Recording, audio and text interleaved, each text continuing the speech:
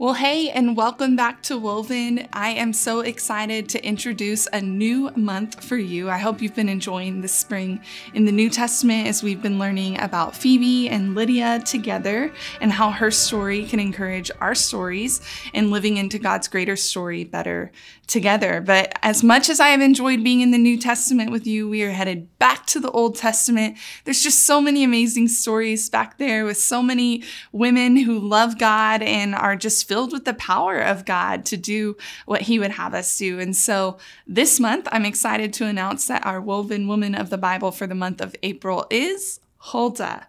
Now, you may not have heard of Huldah. She is in Second Kings chapter 22. You can also see her story in Second Chronicles chapter 34. But we'll be in Second Kings today, and I'm so excited to introduce you to her. So without further ado, I'm honestly just going to jump right in. I'll be reading from the New International Version. Again, feel free to read along with me or enjoy story time as is our custom.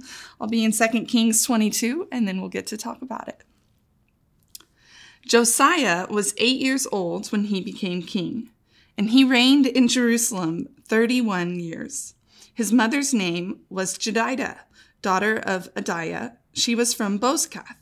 He did what was right in the eyes of the Lord and followed completely the ways of his father David, not turning aside to the right or the left. In the eighteenth year of his reign, King Josiah sent the secretary Shaphan, son of Azaliah, the son of Meshullam, to the temple of the Lord. He said, Go up to Hilkiah the high priest and have him get ready the money that has been brought into the temple of the Lord, which the doorkeepers have collected from the people. Have them entrust it to the men appointed to supervise the work on the temple, and have these men pay the workers who repair the temple of the Lord the carpenters, the builders, and the masons. Also have them purchase timber and dressed stone to repair the temple. But they need not account for the money entrusted to them because they are honest in their dealings. Hilkiah the high priest said to Shaphan the secretary, I have found the book of the law in the temple of the Lord. He gave it to Shaphan, who read it. Then Shaphan the secretary went to the king and reported to him. Your officials have paid out the money that was in the temple of the Lord and have entrusted it to the workers and supervisors at the temple. Then Shaphan the secretary informed the king, Hilkiah the priest has given me a book. And Shaphan read from it in the presence of the king. When the king heard the words of the book of the law, he tore his robes. He gave these orders to Hilkiah the priest, Ahikam son of Shaphan, Achbor son of Micaiah, Shaphan the secretary, and Asaiah the king's attendant. Go and inquire of the Lord for me, and for the people, and for all Judah, about what is written in this book that has been found.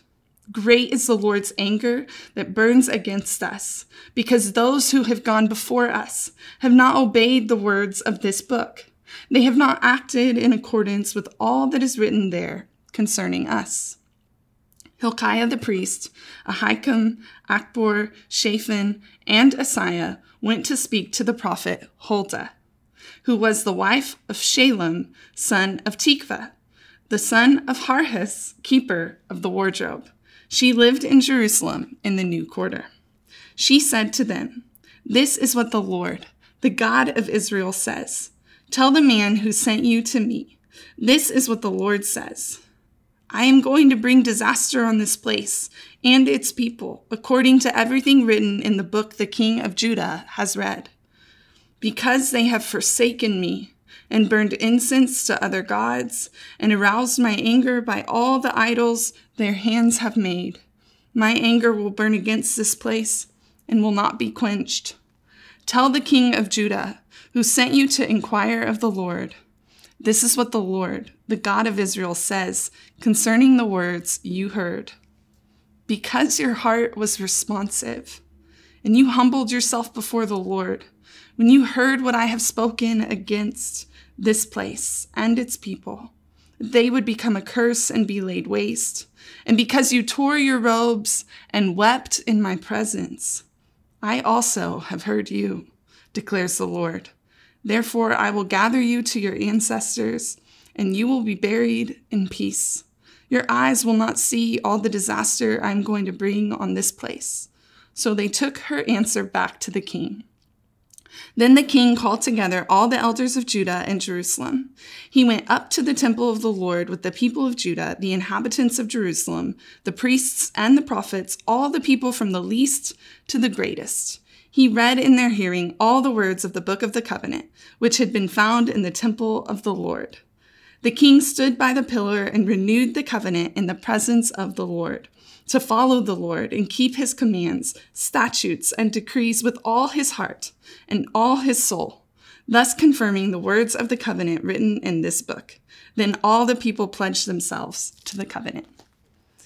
Okay, so we are meeting King Josiah, who actually became king at the age of eight years old. Pretty little. Josiah is known as the last and like the greatest, the most holy, the most righteous king of Judah before it falls.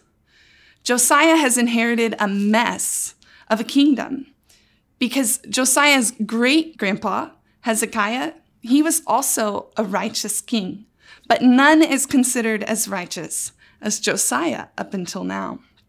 We know that because in 2 Kings 23 25, it says, Neither before nor after Josiah was there a king like him who turned to the Lord as he did, with all his heart and with all his soul and with all his strength, in accordance with all the law of Moses.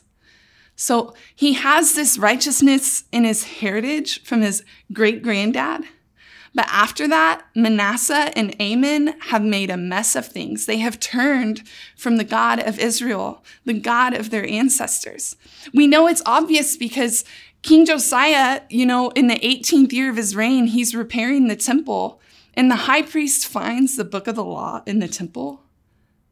In the temple, God's own word had to be found. Clearly, it wasn't used. Josiah had never heard it. How heartbreaking is that? And so they're repairing the temple and they find this book, the high priest does, and he gives it to Josiah's secretary, Shaphan. And Shaphan reads it and he's like, okay, our king needs to read this. So he reads it out loud in the presence of King Josiah. And here's what I love Josiah hears that word of God, which I'll tell you we now understand is probably the book of Deuteronomy, based on what we read here. It sounds a lot like Deuteronomy. And so Josiah hears these words of God from Deuteronomy for the first time, and he immediately repents. He tears his robes. He's remorseful. And he doesn't only repent for the fact that he has failed to hear and respond in obedience to these words of God himself, but he repents for those who've gone before him, for the sins of his ancestors that he has inherited. And he didn't even have a say in that, but at the presence of God and his word, he knows the right response is repentance on behalf of him of those who've gone before him and on behalf of all the people that he's responsible for as king. I think it's such a humble posture that Josiah takes. And so he repents, but he also then calls together his A team, right? His cabinet, these five guys who aren't going to get a burger and fries, but they're going to seek after a prophet who can authenticate and confirm that this is God's word, who can further explain what Josiah had just heard. Now, what's interesting to note is that Jeremiah and Zephaniah were both prophets who were available and accessible at this time. We know Jeremiah and Zephaniah because they have whole books of the Bible dedicated to them. But Josiah doesn't seek after their guidance, he seeks after Huldah's. Isn't that interesting? Now, most of us don't know Huldah, which I think is really sad. She doesn't have a whole book of the Bible dedicated to her, but she was a prophet in the time of Jeremiah and Zephaniah, just like them. So the king's A team seeks after her. And it's interesting language that Josiah uses. If you see in verse 13, he says, Go and inquire of the Lord for me and for the people and for all of Judah about the words that he had heard. Go and inquire of the Lord. And where do they go? They go to Huldah. This is because this is before Jesus came. This is before he gave us the Holy Spirit. So the role of the prophet in this time was to speak for God to people. So people would encounter the prophet and that prophet would tell them what God would have to say to them. So when you see Huldah, she says, This is what the Lord God says. She's speaking on behalf of God to the people, as any prophet in that time would have done. It's really cool to see that connection, I think. And so he sends them and they go straight to Huldah. And what's interesting is that they don't feel the need to explain why they went to Huldah.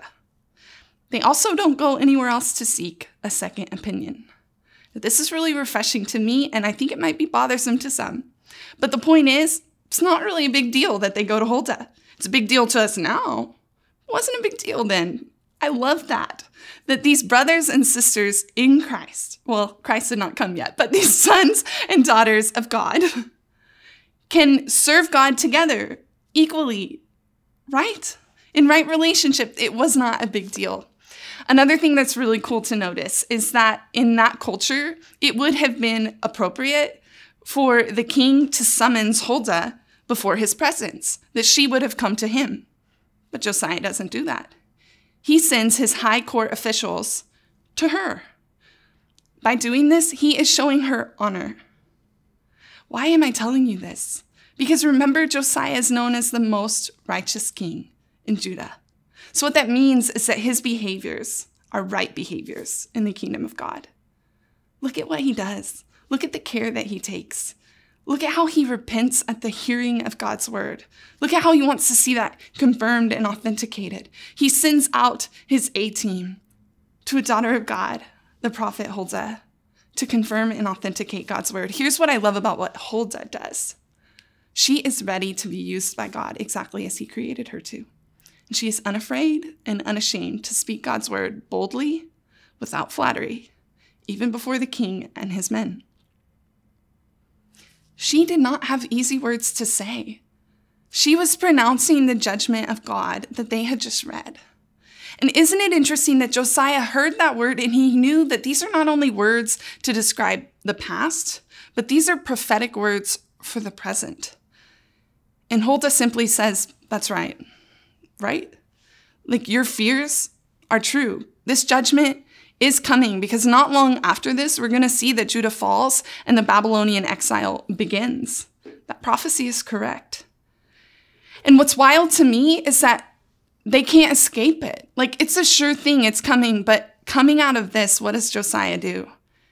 He not only repents on behalf of himself and his people, but he, lead, he leads the whole nation in a great reformation a time of collective repentance and reform before God, even though judgment is sure to come. Wow. I just can't hardly get to know very many kings and leaders like that in our day. You know what I'm saying? That like he didn't run away, he didn't try to shift the blame, like he took ownership of the abandoning of God, of himself, of his ancestors, and of his whole nation and he led him in the right way of God. You wonder why he's called the most righteous king of Judah. But here's God's grace that I love on full display. In verse 19, it says, Because your heart was responsive, and you humbled yourself before the Lord when you heard what I have spoken against this place and its people, and because you tore your robes and wept in my presence, I also have heard you. Therefore, I'll gather you to your ancestors, and you will be buried in peace. Your eyes will not see all the disaster I'm going to bring on this place. God is gracious to Josiah because he heard God, he believed God, and he responded in repentance and obedience, in honesty, weeping in the presence of God.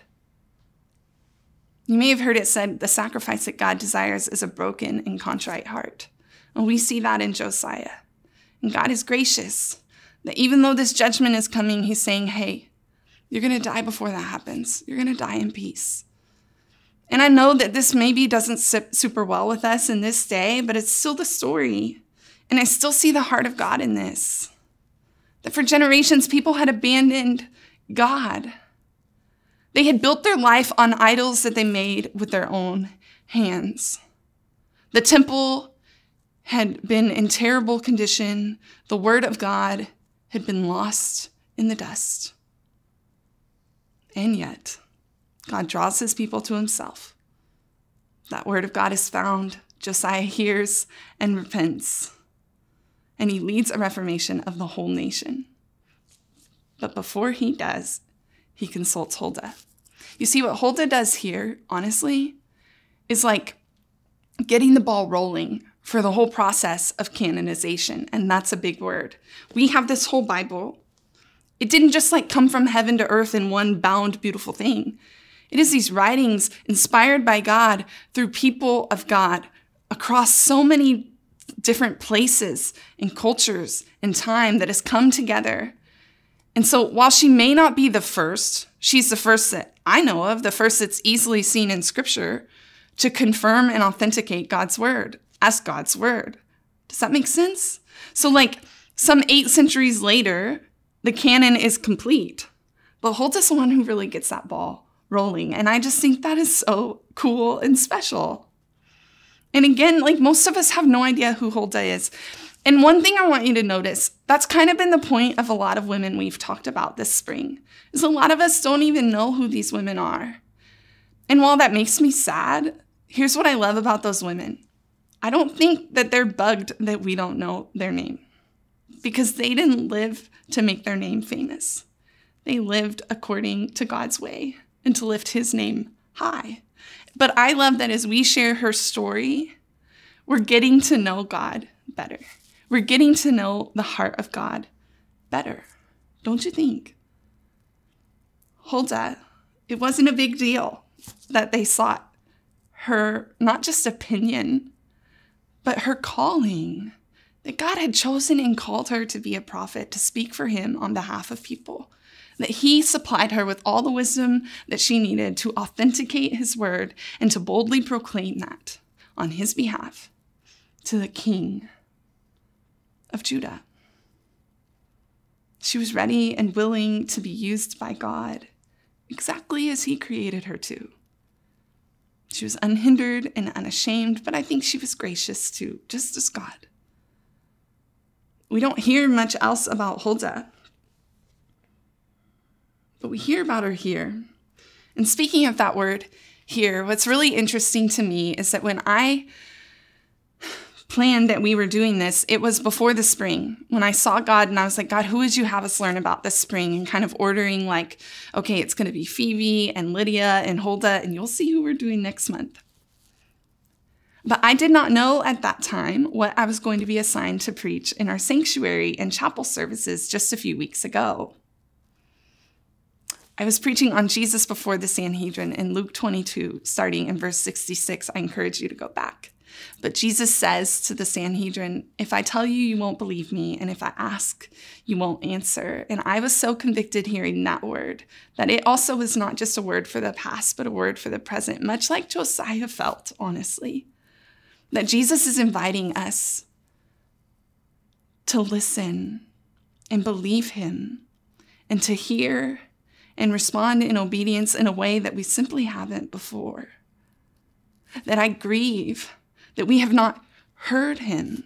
How could we possibly obey him if we're not even listening?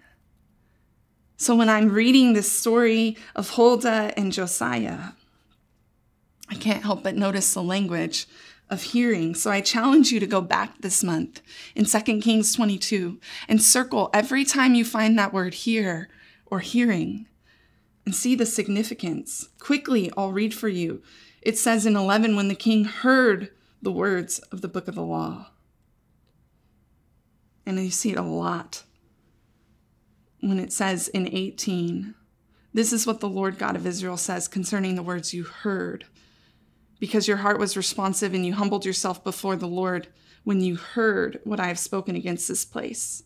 God says, I also have heard you. It goes both ways.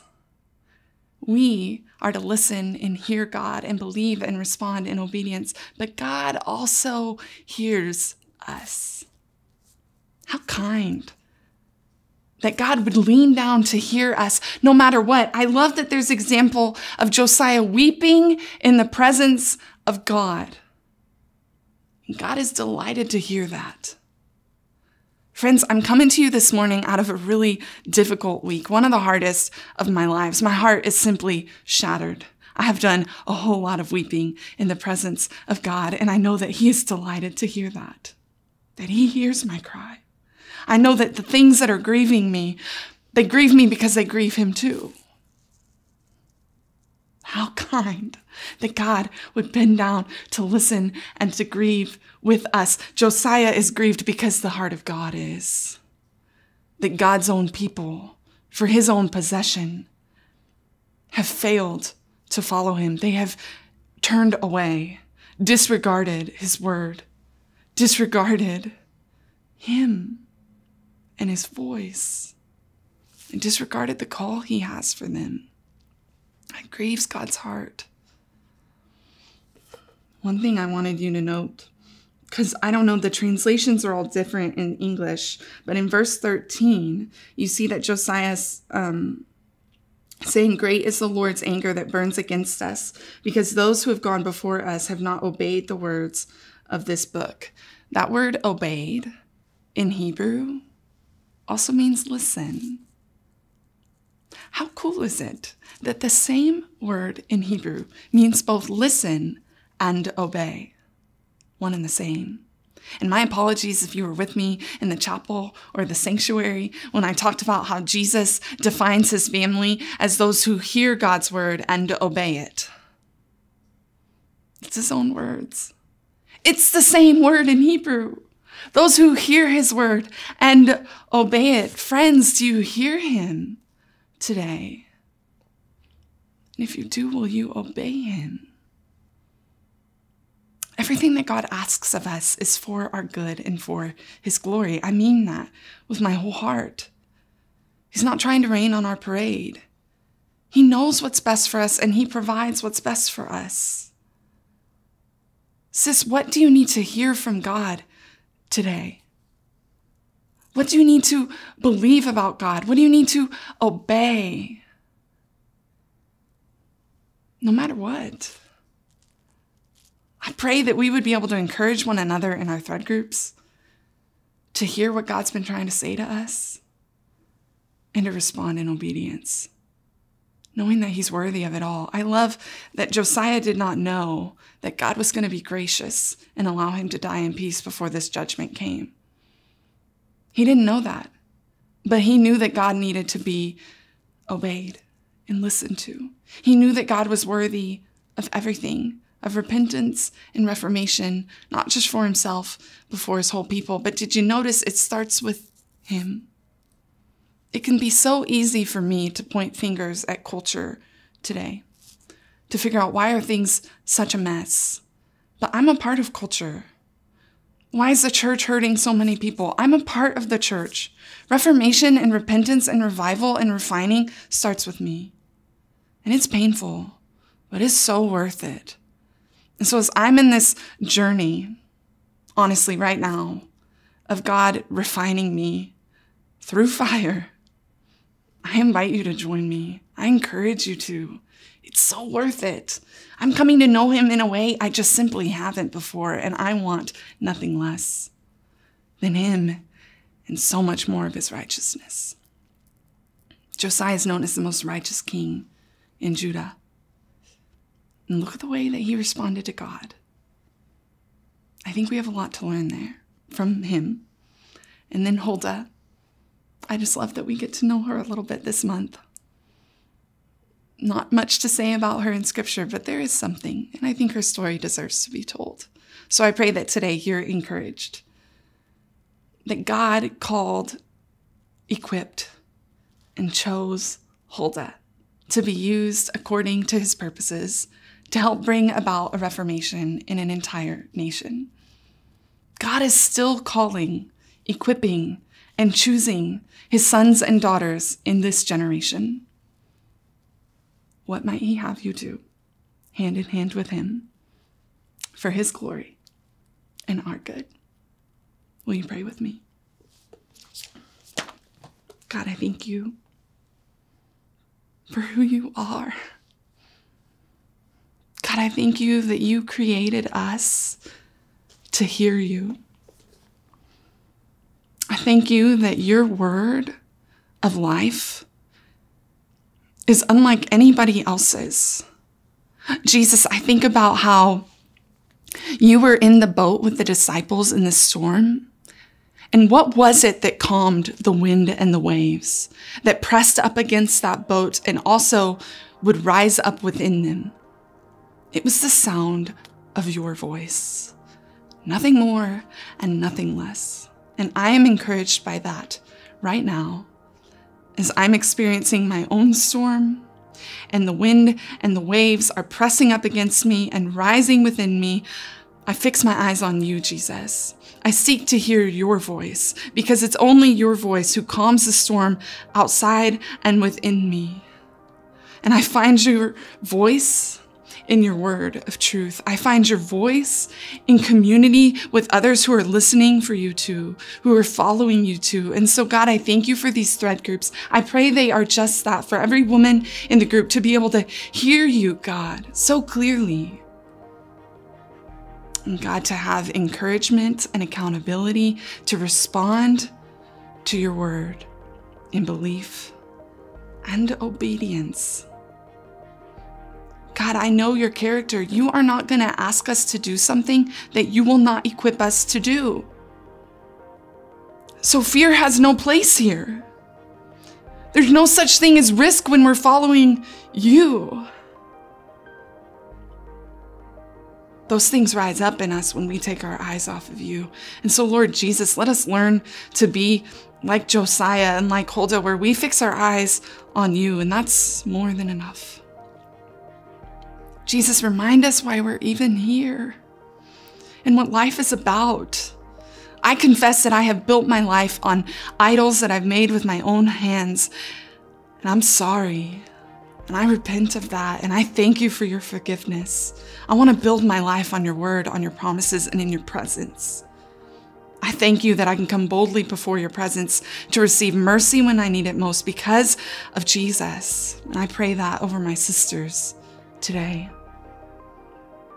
May we come before you even now in the context of this beautiful family.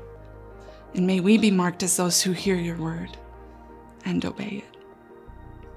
Amen.